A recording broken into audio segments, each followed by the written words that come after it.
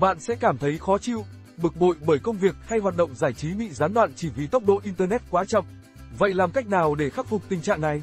Sau đây là những lưu ý dành cho bạn trong thời đại công nghệ phát triển.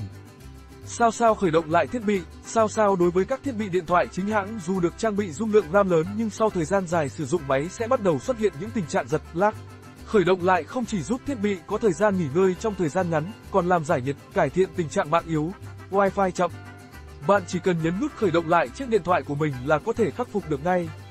Sao sao kiểm tra tín hiệu, sao sao khi bạn sử dụng mạng để xem phim hoặc tải tài liệu về điện thoại, máy tính mà tốc độ quá chậm ắt nhiều người sẽ nghĩ do mạng tại khu vực đó chậm, nằm ngoài khu vực có tín hiệu.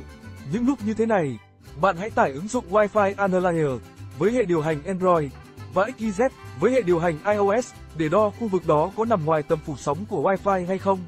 Nếu bạn đang ở nơi xa xôi, hẻo lánh, xung quanh là núi đồi, hay thậm chí đứng giữa một khu đô thị đông đúc bị những tòa nhà bao quanh thì khả năng tín hiệu sóng có thể sẽ yếu.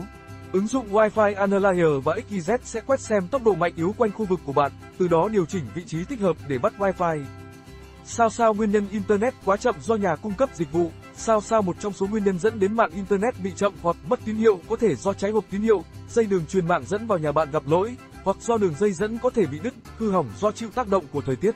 Những nguyên nhân khách quan ấy nhà cung cấp không? Tắt chế độ tiết kiệm dữ liệu, mặc dù cài đặt chế độ tiết kiệm dữ liệu sẽ có ích khi điện thoại của bạn có lượng dữ liệu thấp, nhưng nó lại làm tốc độ mạng của bạn bị chậm đi. Hãy thử tắt chế độ này, tốc độ mạng sẽ cải thiện tích cực hơn đấy. Đối với điện thoại iPhone, bạn hãy vào cài đặt, sau đó chọn di động rồi tiếp tục nhấn vào tùy chọn dữ liệu, cuối cùng bạn chọn tắt chế độ dữ liệu thấp. Đối với Android, bạn vào cài đặt, chọn mạng và Internet, tiếp tục ấn vào mức sử dụng dữ liệu, rồi tắt trình tiết kiệm dữ liệu.